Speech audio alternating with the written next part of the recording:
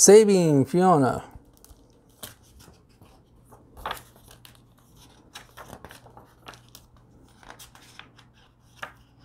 This book is dedicated to all the members of Team Fiona who worked tirelessly to save baby Fiona.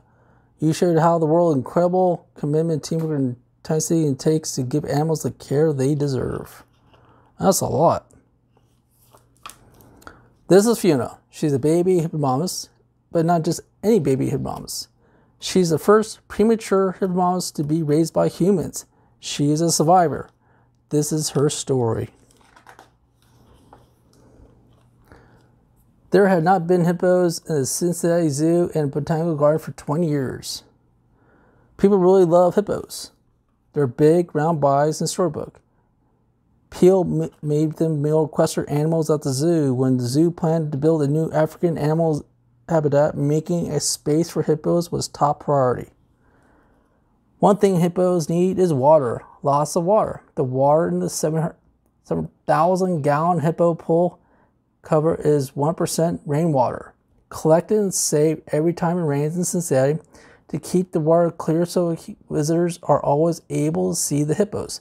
From all sides, the hippo makes use of the big pool filter in town. The residents of Hippo Cove were 17 year old Bibi and 30 year old Henry. They arrived 2016. Bibi had only lived with a female hippopotamus. Henry was the first male hippo I've ever seen. Henry had lived with many hippos, male and female. He had even fathered some babies. Everyone hoped that Bibi and Henry would get along and have some babies of their own. Not long after the pair was introduced, there was good news. Bibi and Henry were going to be parents. Scientists from the zoo research team conducted the world's first ultrasound on a Nile hippopotamus. Because hippos had a thick layer of fat to insulate them from their life in the water, nobody was sure the ultrasound would even work. But a science slid under Bibbo's huge belly, and sure enough, you could see a spinal cord and even little hippo's feet. Zoo staff continued to monitor Bibi's throughout her pregnancy. Soon there would be a baby hippopotamus at the Cincinnati Zoo.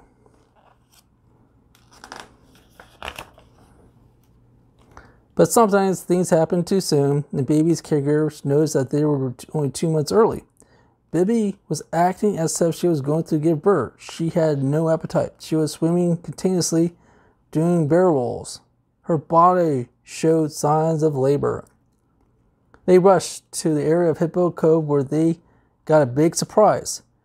Even Bibi wasn't due to give birth until March, lying on the ground, much with the little hippo's antibody anybody would ever seen. It was January 24th, 2017.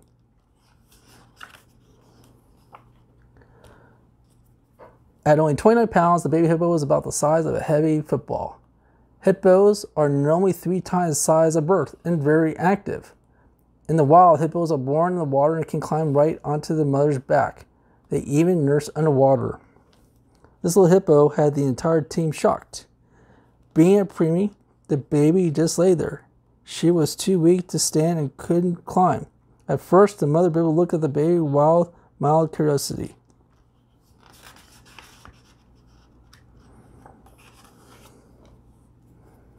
There was no time to waste. The zoo's care team jumped into action. They picked up the baby and started to warm her in thick blankets. Everyone had lots of questions. What do we feed her? Should we put her in the water? Do we make her stronger? How would a hippo mom take care of a premature baby in the wild? Nobody ever raised a premature hippo. If Fiona was going to survive, everybody who would be taking care of her would be to learn everything one day at a time.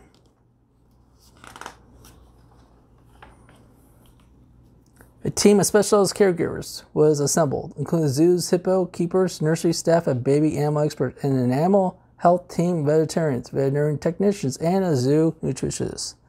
Team Fiona was committed to saving the baby hippo's life, whatever it took. After taking it over, they decided to name the female baby Hippo Fiona, after a lovable princess of the wiggly ears from the movie Shrek.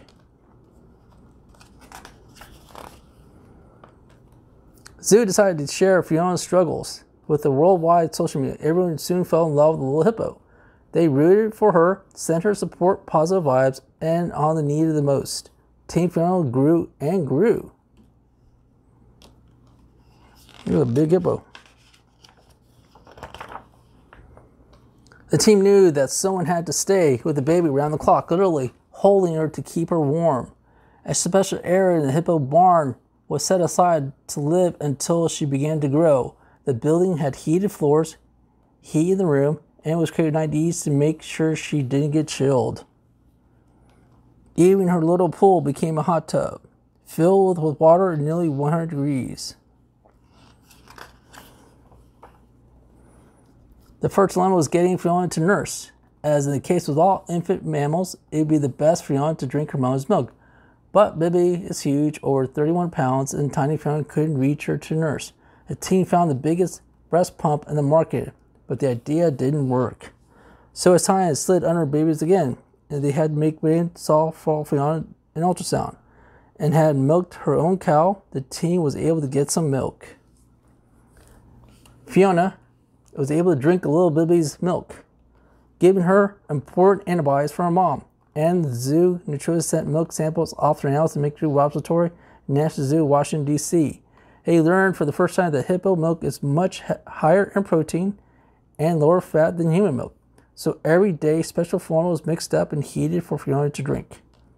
But it was difficult to keep Fiona interested in feeding, and sometimes she would have difficult time breathing. You can imagine how much Fiona did not like oxygen tube channel in her nose.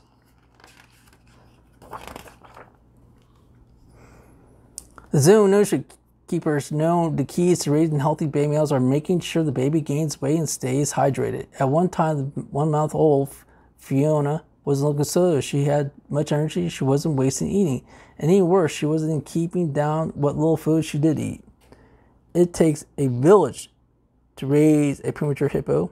Someone on the zoo staff shared her when one daughter was sick and needed fluids, so her hospital called a specialized vascular access team to find her tiny veins, and her daughter recovered. And so when the zoo reached for the Cincinnati Children's Hospital, they sent their specials vet nurse right over to put the hippo IV.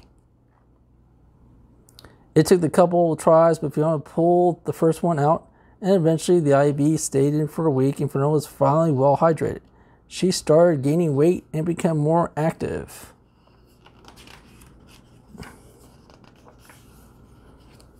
Fiona had turned the corner.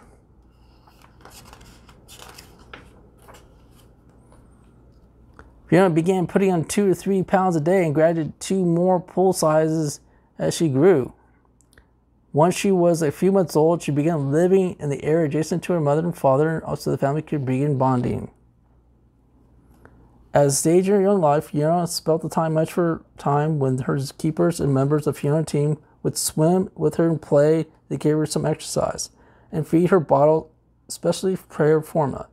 It is the only way to keep her healthy. Team was encouraged by Fiona's progress, but at the same time, everyone was worried about the risks involving her to the baby veterinary. After all, the parents weighed over 7,000 pounds combined, and Fiona was so little. Her carers in zoos, mammals, careers worked up step by step plan for Fiona. She began learning to push off the bottom of the indoor pool, chaperoned by keepers, in case she couldn't navigate the deeper water to get the surface to breathe. Then Fiona started spending time with baby baby indoors, giving them a chance to get to know each other better without risking water. Fiona did amazing things, Bibi. She says, exploring her mouth, which made everybody a bit nervous, and Bibi was proving to be a great hippo mom. The world celebrated these milestones right along Fiona's care team. People will get enough videos and photos that soon shared via social media. They demanded a daily Fiona fix. Fiona fix.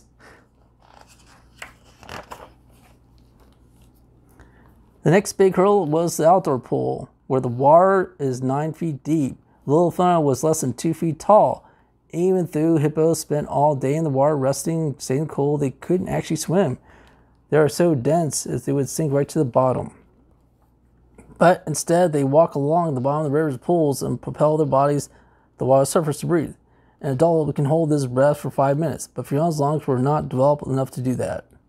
So at first, Fiona would go with her keepers, which was also much fun for their hippos are built for long life in the water, and the keeper soon saw Fiona was no exception.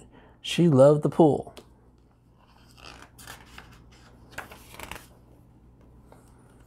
Then came the big day everyone would look forward to, the little, with a little sadness, when Fiona was able, about four months old, it was time to let her explore the big pool Bibi.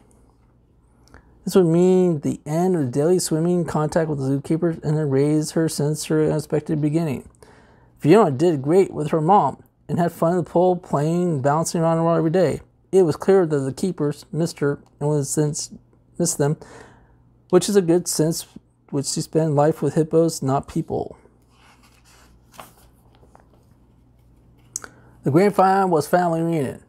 When Henry and Bibbo and Fiona started spending time in the pool together, Fiona continued to play very active. Little Hippo, by the time she was six months old, she weighed over 400 pounds. Sometimes Fiona settles down in the shallow end of the pool, staying cool. She takes a nap. Everyone at the Cincinnati Zoo agrees that they were learned a lot from Fiona. We like a very experts on hippo ultrasounds, hippo milk, and everything else you need to raise a premature baby hippo the first time. But most we learned was love cares and makes impossible. Fiona taught us never to give up.